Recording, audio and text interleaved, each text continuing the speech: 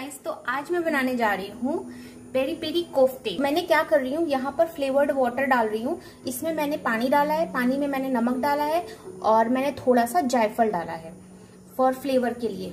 और साथ ही साथ मैं पीस रही हूँ धनिया, हरी मिर्च, नमक थोड़ा सा विनेगर डाला है और लहसुन और जीरा। बस बनाया है, जिसमें मैंने डाले हैं हरी मिर्च, गरम मसाला, जीरा, धनिया पाउडर थोड़ा सा बेसन, हरा धनिया और सॉल्ट और नींबू। इतनी चीज़ें डाल के मिक्स करके मैंने इसका वो बना लिया है पेस्ट जैसा। तो मैंने इसलिए इसकी वीडियो नहीं बनाई क्योंकि ऑलरेडी मैं इस चीज़ की वीडियो आपको सीख कबाब में दिखा चुकी हूँ। तो ये चीज़ सेम बनेगी। बाकी अब हम तैयार, कोफ्ते बना लेंगे। और बना के इसमें हम डालते रहेंगे। इसको थोड़ा स्लो कर दीजिएगा। और ये बस बाइट साइज़ में। आपको लगे तो आप थोड़ा सा वाटर भी ले सकते हैं और ताकि आपके जो कोफ्ते हैं, वो फटे नहीं और बहुत ही छोटे छोटे ज़्यादा बड़े नहीं। कीमा बनाते वक्त मैंने पानी बिल्कुल ऐड नहीं किया है और इसमें लहसुन अदरक का जो पेस्ट है, वो डाला है इनने इसमें। तो उसी का जो पानी था, बस वही है इसमें और एक्स्ट्रा पानी मैंने नहीं डाला है। अगर आपके पास आइसक्रीम लगाने आइसक्रीम निकालने वाला स्कूप हो तो और भी अच्छा है। आप उसी के साइज़ का सारा का सारा लेके बाइट साइड बना के और इस तरह रख सकते हैं।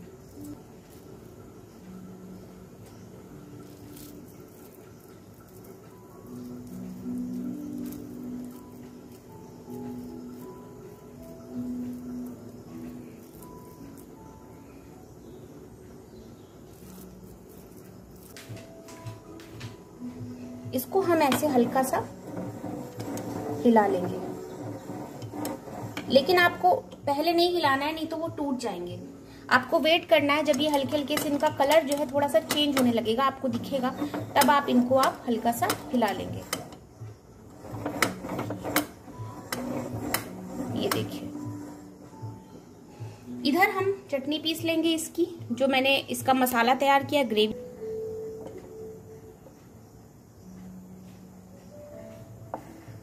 गर्म हो जाएगा तो हम इसमें डाल देंगे जीरा। थे इसको हम इसमें डाल देंगे। लेंगे तेज आँच है, क्योंकि ये ऑलरेडी पके हुए हैं। दो से तीन मिनट में ये हो जाएँगे। अब हम इसमें डाल देंगे, ये जो हमने बनाया था।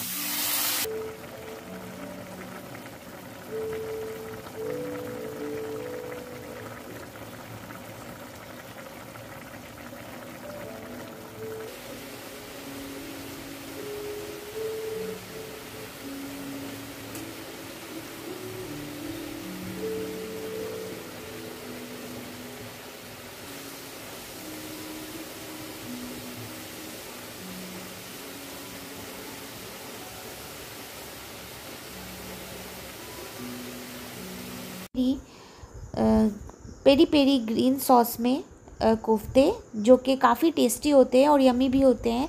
तो अगर आपको ये मेरी डिश अच्छी लगे तो प्लीज़ मेरे चैनल को लाइक, शेयर, सब्सक्राइब करिएगा और बेल बटन को भी हिट कर दीजिएगा। मिलते हैं फिर नेक्स्ट रेसिपी के साथ। तब तक के लिए बाय बाय